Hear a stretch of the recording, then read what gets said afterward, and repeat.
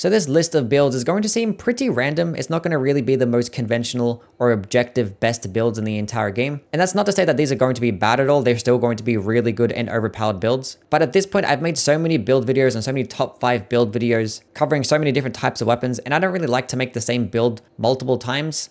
So for this video, I'm just going to pick five weapons that I haven't really made a build video on and just basically just throw it in a video like this. Now I did try to actually have some variety on this list and not really have five of like the exact same type of build, but all of these are actually extremely powerful and I definitely recommend giving these ones a shot if you haven't already. But yeah, let's just get into it.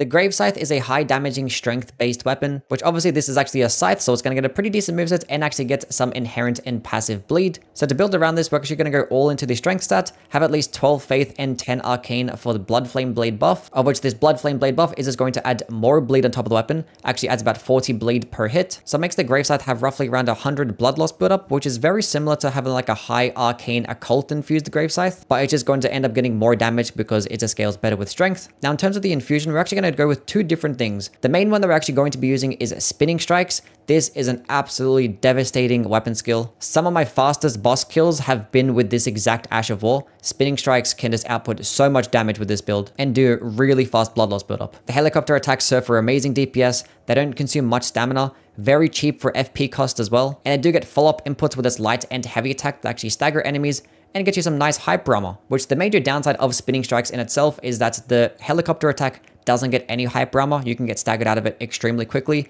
and it doesn't stagger that well against those like medium-sized enemies. But to counteract that, if you're actually going to go fight those types of enemies, whether it be like a Leyndell Knight, Cleanrot Knight, or even Malenia, I would actually recommend putting on Stormcaller because this one actually staggers and stun locks a lot better. It's not going to get as much damage or blood loss build up, but the stun lock potential can just make this extremely good. But against all other types of enemies and bosses, I recommend just sticking with Spinning Strikes because the gameplay is just speaking for itself. Now, in terms of the talismans, we're going to go with the Shard of Alexander, Millicent Prosthesis, which gives you plus 5 to dexterity and more damage with successive attacks, which obviously we're going to be hitting multiple times very quickly. I'm with the Ritual Sword Talisman because I'm always at full health. I don't really get hit that much, but if you're a person that doesn't feel that confident in staying in full health, I recommend just going with like a damage negation talisman. And we're going to have the Lord of Blood Exaltation alongside the White Mask Helmet. Both of these things are just going to give us more damage every single time that we proc bleed right next to an enemy. Now, being that we're actually going into a bunch of strength, we're actually going to go ahead and use the Claw Mark Seal because this actually gets a pretty decent incant scaling with a bunch of strength put into it, which if you're going to be at higher levels, I recommend just going into a little bit of faith. I went to 25 faith, so I can use things like Golden Vow, Flame Me Strength. And if you actually did go up against an enemy that is resist to bleed, you probably could put something on like Black Flame Blade, even though it's not really going to last that long. Now, in terms of the Wondrous Flask, we're actually going to go with the Strength-based tear and the Thorny Cracked Tear. That's just going to result in as much more damage. The Thorny Cracked Tear works very similar to the Millicent Prosthesis, but actually just gives you more damage than that. Now, one other like optional part of this build that's not really necessary is going to be the Iron Jar Aromatic. This thing just gives you like tier 4 hardness of which you can just tank so many attacks and actually give you a bunch of physical damage negation. So if you actually are going to go up against enemies that do hit a whole bunch and give you very little openings and you still want to use spinning strikes, you can actually go ahead and use this. Now, the unfortunate thing is that you do have to craft it a whole bunch. But as you can see, against certain types of enemies, you don't have to do anything. You can just hold onto the button, tank every single type of attack. Now, the unfortunate part of using this is that you can't really like roll or move very quickly, of which I would recommend just putting like Bloodhound Step on like a dagger in your back pocket and then switch to it whenever you actually feel the need to dodge. But yeah, this is definitely going to be one of the better scythe types of builds out there. The Godskin Stitcher is a heavy thrusting sword of which this weapon class has probably the best two-handed and one-handed moveset in the entire game. You get really quick poking attacks, of which piercing damage is just absolutely amazing in this game. You do get the best running attack in the entire game. Those running heavies cover so much distances, it's not even funny. You actually can use this alongside a shield and actually poke and block at the exact same time, as you see in the gameplay. I'm not too big on shields, I don't really like to use them much, but if you are struggling to dodge and you want to like learn a boss's moveset, then I recommend just using a shield, of which the brass shield is just going to be the best one to have. It's very reliable and actually gets you a lot of stability. Now the downside of the Godskin Stitcher is that you don't really get horizontal swipes, so trying to hit multiple enemies at once can actually serve as a problem. So if this is actually too big of a downside for you, I recommend going with the Great Epee. This one isn't going to be getting as much damage, but it does get those horizontal swipes for a heavy attack. So it can be a decent alternative. But the weapon skill of which we actually are going to have infused onto this is going to be Stormblade. This Ash of War is going to be one of the better ones in the entire game. It's not like incredibly high damaging, but it is so easy to use. It's so cheap and it actually gives you a bunch of benefits. It's only 10 FP for its first initial cast and then 6 FP for every successive one and the animation is very fast. The projectile itself does actually go relatively far and projectiles that come out quickly and actually do some decent damage is just gonna cheese the entire game. Projectiles make this game so easy. And the, probably the best thing about Stormblade is actually does some decent stance damage and actually staggers a bunch of enemies as well, like Leyndell Knights, Omens. It staggers all those types of enemies. And also does about 10 stance damage just with the projectile. And hitting with this thing at point blank range is just going to do bonus damage because the weapon is actually going to have a hitbox too. So honestly, you can spend this entire time just spamming this one skill. But for the build, we're basically just going to go all into dexterity.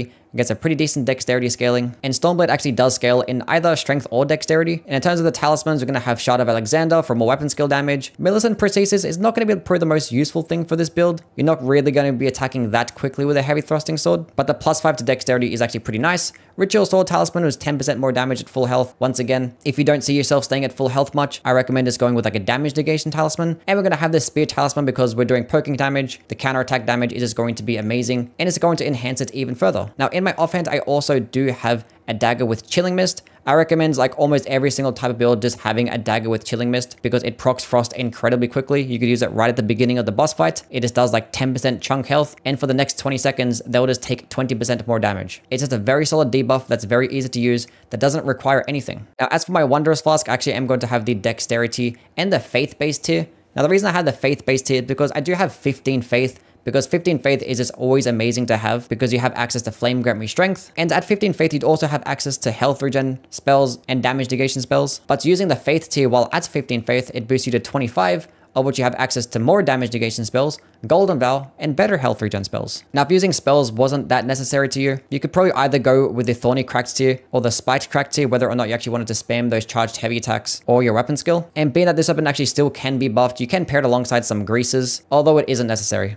The Glintstone Kris is one of the best intelligence weapons in the entire game, and I consider it to be the best dagger in the entire game. The only reason why people don't really use it as much is because you do get it off a pretty annoying questline, but it doesn't change the fact that this thing can just absolutely decimate and melt everything. Its weapon skill, Glintstone Dart, is kind of just a beefed up version of Glintstone Pebble. It can go way further, do more stance damage, more damage in general, and you can fully charge it on top of that to make it go even further, even more damage. And with every single weapon skill that can be fully charged, you can just pair it alongside the Godfrey's icon, and that's just going to result in 15% more damage. And just going all into intelligence, as you can probably see with the gameplay, yeah, things are just not standing a chance. Now, daggers themselves aren't going to be like the best primary based options because they don't really stagger that well, they don't have much range, and their DPS kind of is lacking when you compare it to things like curved swords or even spears, but there are some things that they actually do really well. And the main one being is going to be its critical damage that it does get. They tend to get very high critical damage, so when getting backstabs and riposts, it can just output a whole bunch. So we're going to try and go ahead and play into that. So the dagger we're actually going to have on our offhand is going to be the Misericorde. With this is going to be one of the better daggers in the game, it gets some pretty nice damage but it actually also does get the highest amount of critical damage at 140. Now we're going to have the Misericorde infused with Glintblade Phalanx, with obviously a magic-based infusion, because they're going to go all into intelligence, because both of these weapon skills are going to scale off that stat. No strength or dexterity really needed at all, because, you know, daggers have lower requirements. But Glintblade Phalanx is going to be an amazing weapon skill to stance break enemies, because hitting with all of these projectiles does 40 stance damage, which 40 stance damage is like just as much as a fully charged Colossal Sword heavy attack. And you can just use this weapon skill before you actually engage into a fight and switch back to the Glintstone Kris, do the full Ash of War combo with that weapon, and that can also do 40 stance damage. So you're basically doing like 80 stance damage or close to 80 stance damage within like a few seconds. And every single time you get the stance break, you actually can just switch back to the Misericorde and just get the riposte, of which you're just going to output so much damage especially if you have the dagger talisman equipped. Now, in terms of the rest of the talismans, obviously Shard of Alexander, 15% more weapon skill damage, and I'm going to go with the Magic Scorpion Charm too, which is going to be 15% more damage to magic, but it is going to make you take more damage too. So do keep that in mind.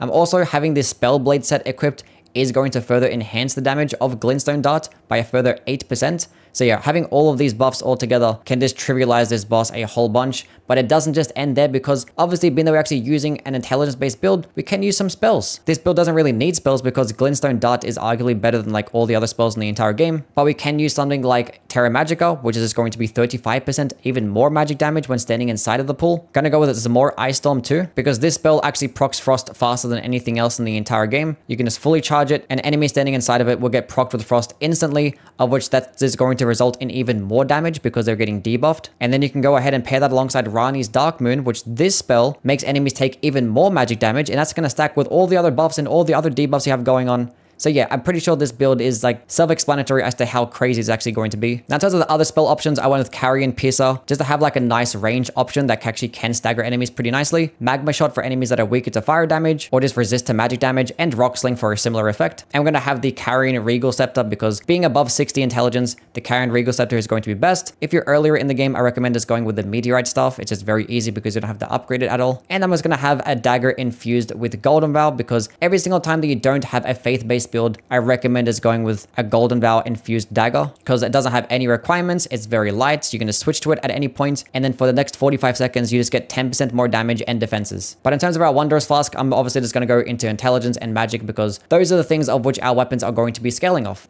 The Raptor Talons is a very solid claw-based weapon, of which this weapon class is actually going to be one of the more underrated ones in the entire game. They have incredibly fast movesets, have access to slashing damage, high critical attack, they get passive bleed, and they can be power stance with just two-handing, meaning that you actually don't have to level up a second weapon just to power stance. Now the Raptor Talons is going to be especially good because it actually does get bonus damage with your jumping attacks, and it does get a unique heavy attack too, that charged heavy attack does lunge pretty far, and it does come out pretty quick as well, so you actually can close the distance with relative ease. Now, being that this one actually can be infused and actually does get passive bleed, you actually can go into an occult infusion and upping your arcane will just further improve the blood loss buildup to make it just proc bleed even quicker. Now this type of build is only really going to be better at later levels. If you wanted to use the Raptor Talons earlier on in the game, I recommend just going into a dexterity based build and pairing it alongside the Blood Flame Blade spell and it probably just end up performing better.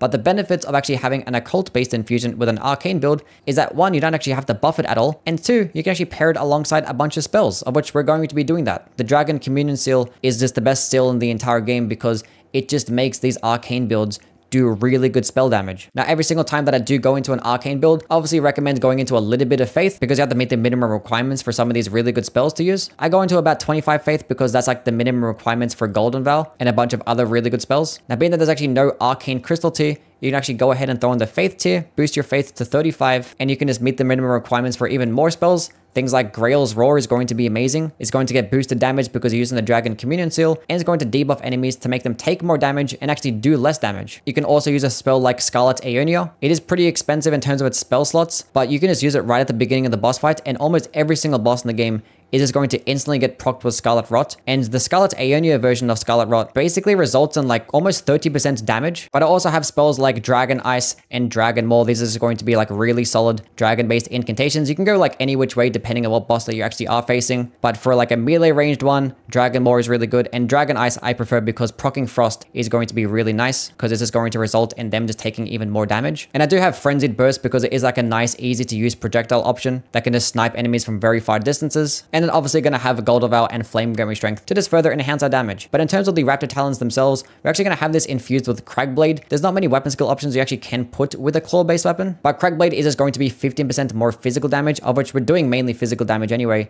and it is going to be doing 10% more stance damage, which with a claw, you're rarely going to proc a stance break anyway. But being with this build, the heavy attacks are so good, and charge heavy attacks are still going to be the best way of doing that. It actually can serve as a nice benefit. So actually going to go ahead and pair this alongside the Spiked Crack Tear and the Axe Talisman and just go all into a charge attack build. We're going to have the Millicent Prosthesis on because that's just going to help us do more damage with successive attacks. The Flock's Canvas Talisman is going to give us 8% more incantation damage. And then we're going to have the Lord of Blood Exaltation Talisman and the White Mask Helmet. Both of these things are just going to make us do more damage when you proc bleed on a nearby enemy. And also to mention, I do have the Raptor Black Feathers chest piece, being that the Raptor Talons actually does have higher motion values with its jumping attack. Just pairing it alongside the Raptor Black Feathers is just going to enhance the jumping attacks even more. So basically with this build, you can't really go wrong with any single type of attack. The light attacks, heavy attacks, jumping, they're all going to work perfectly fine, proc bleed very quickly, and output high amounts of damage.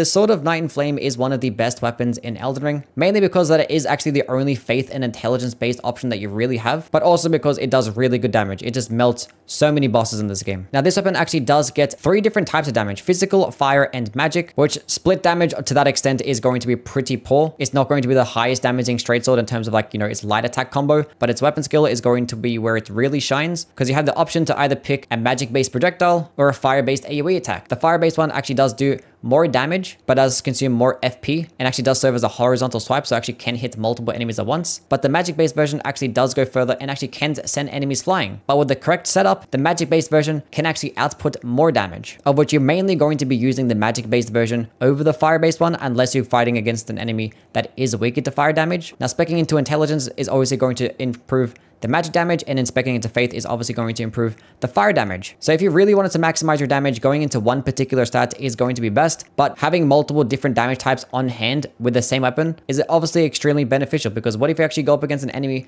that's resist to magic and your fire-based version is just not going to really be cutting it? So I just recommend just going split even stats. I have 45 both intelligence and faith. You don't have to worry about any of your other damaging stats at all. Just meet the minimum requirements for your strength and dexterity and just go all into that faith int. Now, the actual way to use this weapon is that you still want to commit to using one, just depends on the boss fight. So if you're going up against an enemy that's weaker to fire damage, I recommend putting on the Fire Scorpion Charm, the Fire tear, the Faith tear, Flame Grant Me Strength. These things are going to further improve the fire-based damage. But going up against any other type of enemy that's not resist to magic, I recommend just going with the magic-based version because you can just output more damage because it has, has more buffs. Not only does it get the Magic Scorpion Charm, Magic tear, and Intelligence tear, but you also get access to Terra Magica, which is 35% more magic damage. You also get the Spell Blade set, which is going to be 8% more damage. And being actually are going with a faith-based build, you can go ahead and throw in Howl of Shabriri, which yes is actually going to make you take 25% more damage or 30% more damage, but you're going to be doing about that much back anyway. So it does make it a bit more risky, but being that you're sitting at a longer distance, you're kind of out of harm's way, so it's not really that big of a deal. But even if you don't have these buffs, it's still going to be doing really good damage. As you can see with the gameplay, most bosses just do not stand a chance. Now, in terms of the other talismans that I do have, obviously Shard of Alexander, just more weapon skill damage, and with the Ritual Sword Talisman for more damage at max HP. Once again, if you feel like that you're never at maximum HP, I recommend just going with like a damage negation talisman instead. And I also have the Carian Good crest because these weapon skills can be somewhat expensive, 28 and 32 FP respectively, but the Carian Good crest can actually decrease that to 20 and 28. Now, being that we actually are going into a faith and intelligence build, we might as well use spells. Now, we don't really need to use spells because as you can see, these two projectiles that we have with the weapon is just going to be more than enough, but we do have access to like a bunch of other status effects and all the other damage types. So if you actually go up against an enemy that is actually weaker to holy damage, you can use Discus of Light, which is going to be the best holy damaging spell. Really cheap, goes very far, can actually output some nice damage. And then when you go up against an enemy that's like weaker to lightning damage, I recommend just using Ancient Dragon's Lightning Strike. You could just use this all the time if you really wanted to, but I definitely recommend if you're going to go with this spell, definitely spec your build around this. So you actually use things like the Lightning Tear, Lightning Charm, Godfrey's Icon, and probably have the Gravel Stone Seal in your offhand. But speaking of which, we're going to have the Golden Order Seal, which obviously this one is going to be